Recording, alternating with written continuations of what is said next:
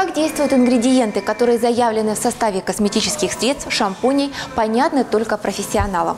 Сегодня спросим совета у специалистов, что должно быть на первом месте из компонентов и как они действуют.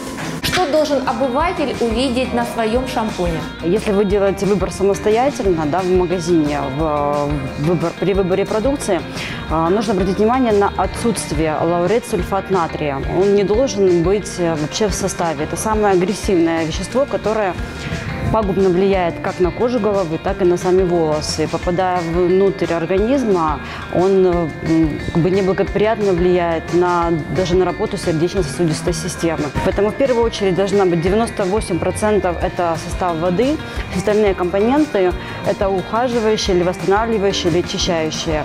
Но лаурет сульфат натрия не должно быть в шампуне. На сегодняшний момент очень модными и популярными являются бисульфатные шампуни. Они идут, опять-таки, на основе воды, но компоненты, ну, компоненты, которые заменяют агрессивные вещества, идут вытяжки из масел. Ваши за и против сухих шампуней.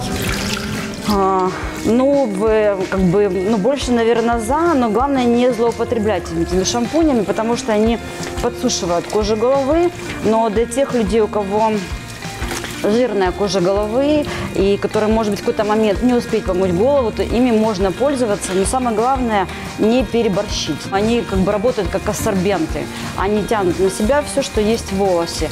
И если мы будем пользоваться ими часто, тогда волосы будут пересыхать.